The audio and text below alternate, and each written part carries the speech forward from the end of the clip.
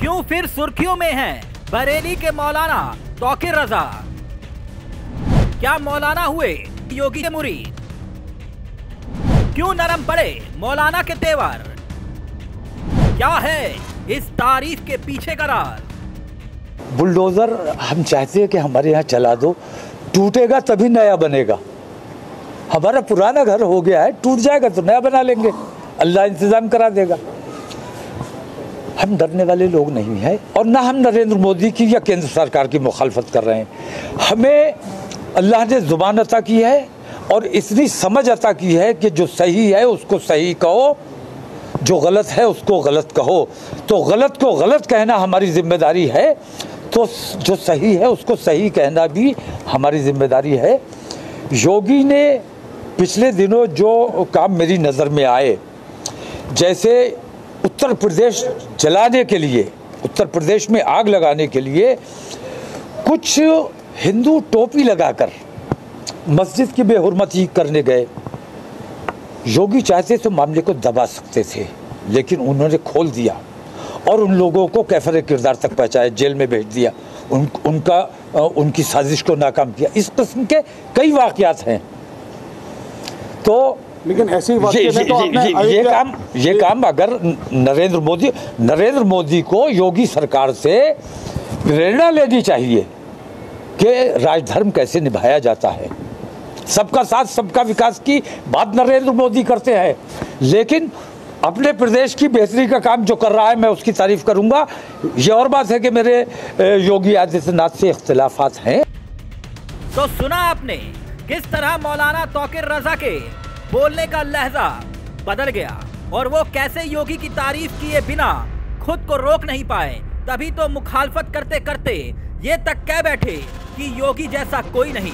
और बोलते बोलते ये तक कह दिया कि प्रधानमंत्री नरेंद्र मोदी जी, आप भी योगी जी से प्रेरणा लीजिए कि हुकूमत कैसे करते हैं। याद कीजिए, ये वही मौलाना है जिन्होंने बरेली के इस्लामिया मैदान से योगी सरकार के खिलाफ विरोध की आवाज़ को बुलंद किया था।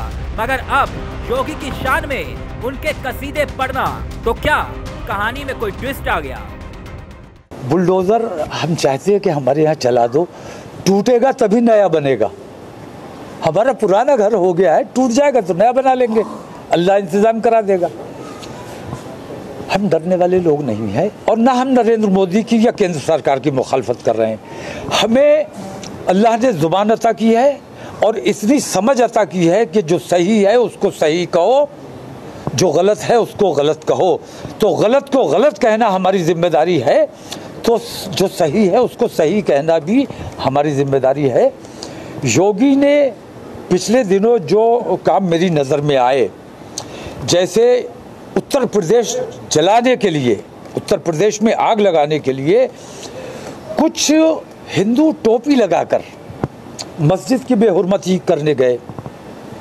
योगी चाहते तो मामले को दबा सकते थे लेकिन उन्होंने खोल दिया और उन लोगों को कैफर किरदार तक पहुँचाया जेल में भेज दिया।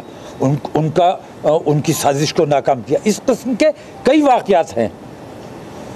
तो लेकिन ऐसे ही ये, ये, तो ये, ये काम ये, ये काम अगर नरेंद्र मोदी नरेंद्र मोदी को योगी सरकार से प्रेरणा लेनी चाहिए कि राजधर्म कैसे निभाया जाता है। सबका साथ, सबका विकास की बात नरेंद्र मोदी करते हैं। लेकिन अपने प्रदेश की बेहतरी का काम जो कर रहा है, मैं उसकी तारीफ़ करूँगा। ये और बात है कि मेरे योगी आदित्यनाथ से इख्तलाफात हैं। रविवार का दिन था, बरेली में धारा 144 लागू थी। उसके बावजूद भी इस मैदान में लोगों का हुजूम देखने को मिला था। इस कार्यक्रम में पुलिस ने लाउडस्पीकर की इजाज़त नहीं दी थी, लेकिन फिर भी आवाज़ें गूंज रही थी। योगी और मोदी के खिलाफ नारे लग रहे थे।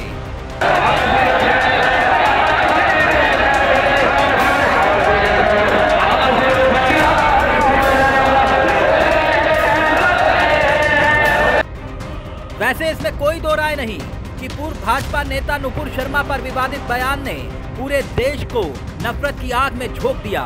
मगर ये चिंगारी जैसे ही यूपी की सरहदों तक पहुँची तो योगी और बाबा का बुलडोजर दोनों हरकत में आ गए।